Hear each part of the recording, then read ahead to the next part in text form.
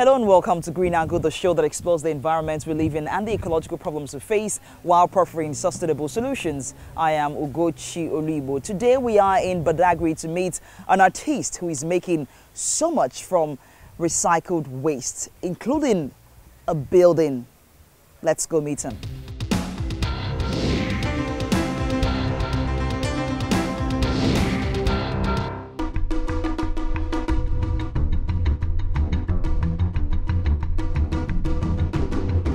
Your art is very different. Tell us about what you do and let's look at what you do. Show us a bit of, a bit of what you do.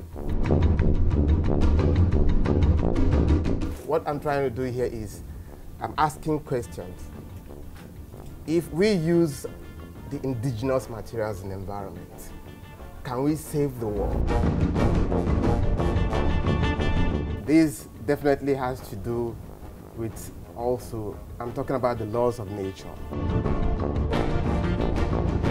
Okay, so these are made from waste. These are recycled materials, Wow. you know, found objects around environment. I pick them and You pick them up. and when I'm walking, they come to be a part of the fusion. you Wow. know, Oh, be okay. part of the narrative. And this one too. Now, these are my new works. Mm-hmm. I am trying to, because I'm known more as a photographer, I shoot objects, piece of object on the ground as I walk. Mm. It's been there, that is called the unseen wall on the ground. And I'm moving this object from the ground to a canvas Wow. to create a narrative.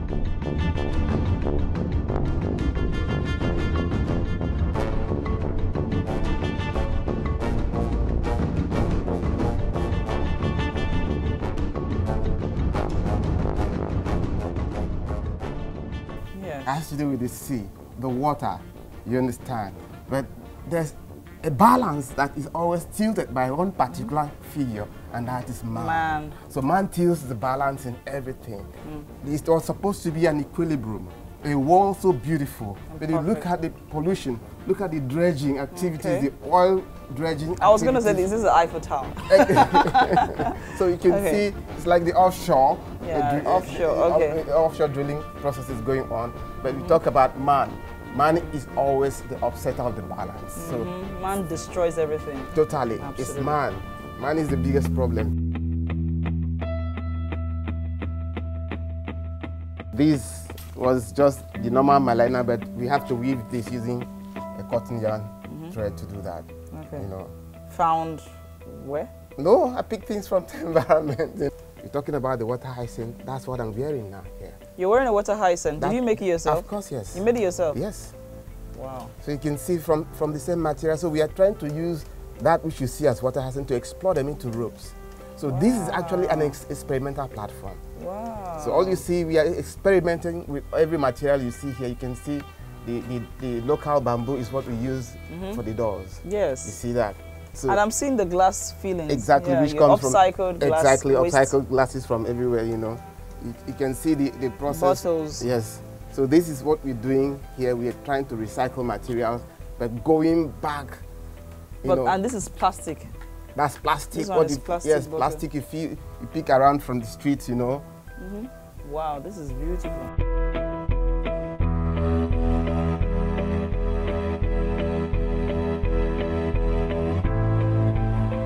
Stepping in here, one will be marveled and trying to understand or get into your mind.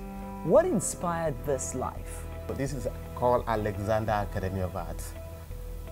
This started three years ago. It's a research process. I'm working on sustainable materials, using indigenous materials in architecture. It's a form of a renaissance going back to how we were in former time.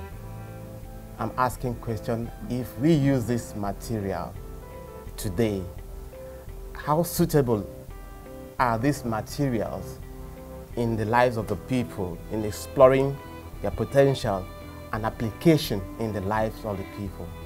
So these materials are all here lying waste and nobody is working on them. So people should start asking questions. So I ask this question because I want to use the materials to ask questions as an artist. The artist's mind is always thinking of exploration. new concept comes into you and you are asking questions, deeper questions. But the work I do is definitely on the environment.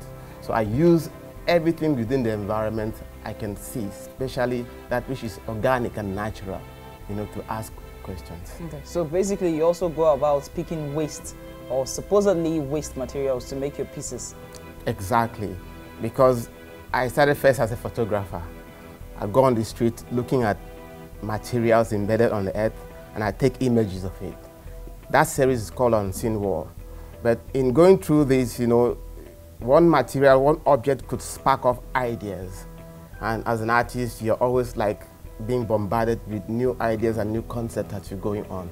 But because I work with the environments, I'm thinking, what are the ways to express, to show people the detriments, the danger of indiscriminate, you know, uh, dumping of refuse or objects, you know, that clogs the earth pores. Mm -hmm. So I'm asking these questions using my art, mm -hmm. you know, but silently also talking to the people of the ill effect of such, you know, behavior to the environment. Okay, so you told me that this is like a community project. Yeah. Let's talk about this. How, how, how, how are you working with the community here? This is very far away from civilization, in quotes.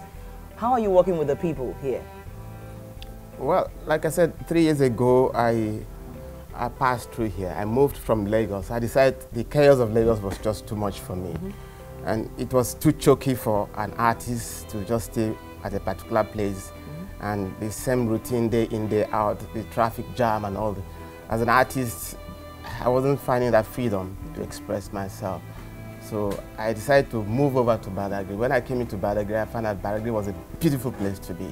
You know, actually, this is where artists are supposed to be because the freedom is too wonderful. Mm -hmm. A lot of materials to explore as artists. So nature, too. Yes, nature. So I decided to pitch my tent here. So when I came in here, I decided to start this as a hands-on approach for the youth. I found that the best way is to allow the youth to engage themselves in activities.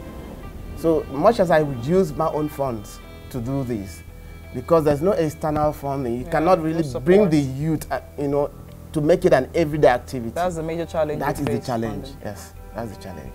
Okay. So you've been featured in several publications around the world and you've exhibited around the world. Tell us about your project so far. Well, um, like I said, my work is on the environment. I use photography. I'm a multimedia artist, so to speak. So I use photography first as a point of departure. So, but in going through that, I also do installational work. Like I said, this building is not a building, it's an installation. So if you look at it, you can see the recycled materials which we pick around. Yes, I've shown outside this country in, in shows and exhibitions that has to do with the environment. Mm -hmm. There, there are activities of the art also that talks much about the environment. So like cities of the future, the like, future. Exactly. Yeah. Like I belong okay, to. Okay, so let's let's take take a look at some okay. of these art cities of the future. Exactly. 21st century avant-garde. Okay. Yeah, mean, meaning that they, there are people who are doing something extraordinarily different from the normal concept of what art is all about. Okay, so, I can see your name yes. here, Charles Okereke. And yes. this one is for the Sustainable World. This is for Sustainable World. You're featured here too. In Bamako, Mali. Okay. There's a biennial of photographers from the whole of Africa, you know, that will converge in Bamako, Mali. Mm -hmm. So I also showed here for a sustainable world. This has to do with the climate, global effect, mm -hmm. you know. Photography was used as the media of that expression mm -hmm. to ask questions, wow. you know. That is what photography does here. Okay, and so this other one is Earth this Matters. This was Earth Matters by published by Gary Milbourne. This is at the Smithsonian, the African Museum.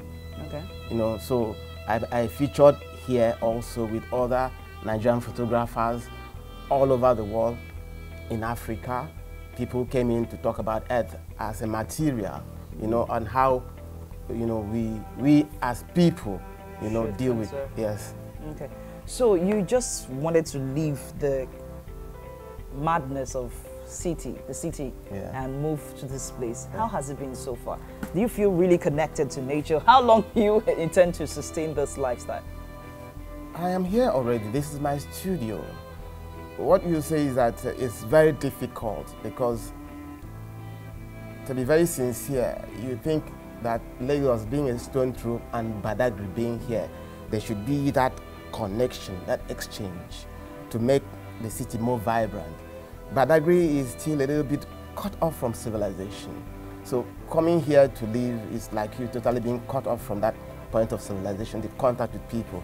When I invite friends to come, they keep telling me, ah, Badagry is too far now. You know what I'm talking about. So it's been a disconnect, sort of. I see you have lots of animals here. Yeah. Tell us about them. You, you live with your, your dog and your cats. I, I have nine cats. Nine cats? Yes, yes. They, okay. They could be here watching at you somewhere. and a dog is my best friend, just straight to me one night like this and was Stray crying. dog? Yes, just came like a puppy. Wow. In the night and was crying, crying, crying. So oh, I came out, opened the door in the night, you know, and saw it and picked it up. In the morning and started going out looking for the owner. Finally, I saw the owner and the, the man just told me to take the dog. Wow. So He's been with me here. His How name many is, years? It's been it's a year plus now. What's the name? His name is Dusty. Dusty? Dusty boy. because of his color. Dusty, okay.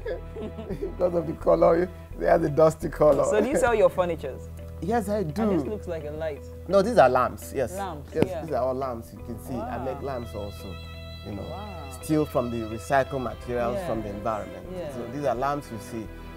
This also is a series I'm working on. It's called the Cocoon series. It looks like a, they're all cocoon. Yes. So I go around, like I said, when I go around, I see how insects build cocoons. Yes. You know, and I study their methods, how they gather materials, this. Eh, the branches and all those things, and I come back to replicate this that. you know, using them. And you can see that they now come in to build their own cocoon on it. I've seen you see, so. you see some wasps coming now to live and build so what material is this? The, what is this one? What material is this? This this is um, tissue paper. Tissue paper? With acrylic glue.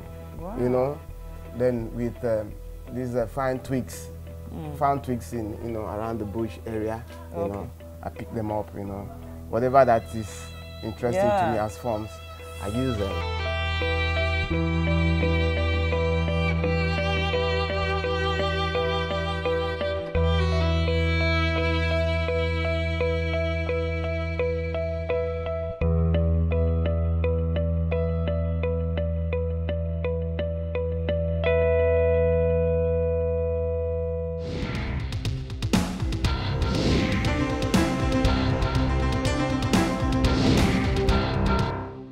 It's really hard to imagine that this entire building was made out of trash.